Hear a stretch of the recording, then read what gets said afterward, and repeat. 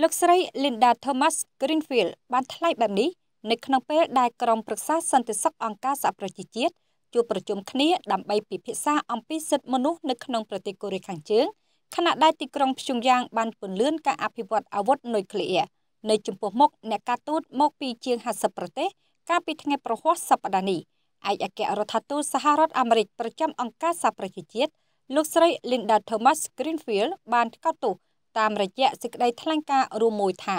ការរំលោភសិទ្ធិមនុស្សនិងការរំលោភបំពានដែលលោកស្រីបាននិយាយនៅពេលនេះមានតំណែងតំណងជាមួយនឹងអាវុធប្រឡាយលោកនិងការអភិវឌ្ឍមីស៊ីលប្លង់របស់កូរ៉េខាងជើងលោកស្រីបានលើកឡើងថាក្រុមប្រឹក្សាសន្តិសុខអង្គការសហប្រជាជាតិកោតទោសប្រទេសកូរ៉េខាងជើងចំពោះការរំលោភសិទ្ធិមនុស្សនិងការចំណាយយ៉ាងច្រើនទៅលើកម្មវិធីអាវុធនុយក្លេអ៊ែររបស់ខ្លួន ខណៈដែលប្រជាជនរបស់ខ្លួនស្រែកឃ្លាននិងខ្វះខាតសម្ភារៈចាំបាច់លោកស្រី Linda Thomas Greenfield ឯកអគ្គរដ្ឋទូតសហរដ្ឋអាមេរិកប្រចាំអង្គការសហប្រជាជាតិបានប្រាប់ក្រុមប្រឹក្សាថា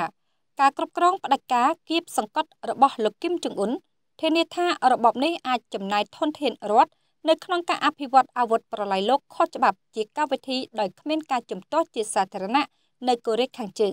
លោកស្រីបានគូបញ្ជាក់ថា ម៉ាស៊ីនសង្គ្រាមរបស់ទីក្រុងព្យុងយ៉ាង ដែលដំណើរការដោយការគៀបសង្កត់និងភាពខុសខើគឺជាបញ្ហានៃសន្តិភាពនិងសន្តិសុខអន្តរជាតិដែលមិនអាចប្រកែកបានលោកស្រីបាននិយាយថានោះហើយជាមូលហេតុដែលសហរដ្ឋអាមេរិកជប៉ុននិងអាល់បានីបានស្នើសុំកិច្ចប្រជុំដ៏យូរអង្វែងកាលពីថ្ងៃប្រហ័សសប្តាហ៍នេះ